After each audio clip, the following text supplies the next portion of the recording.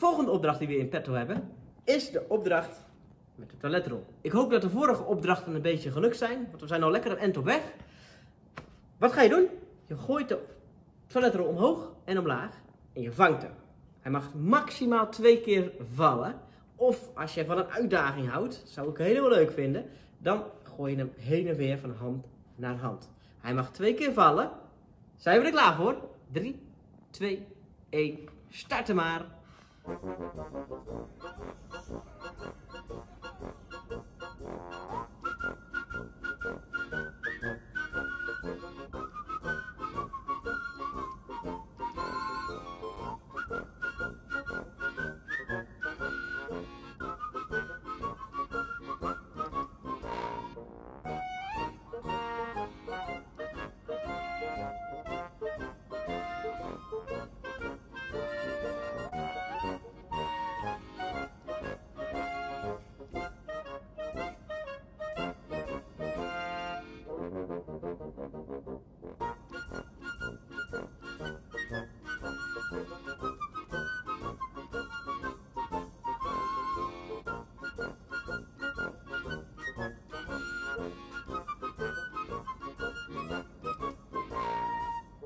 Thank you.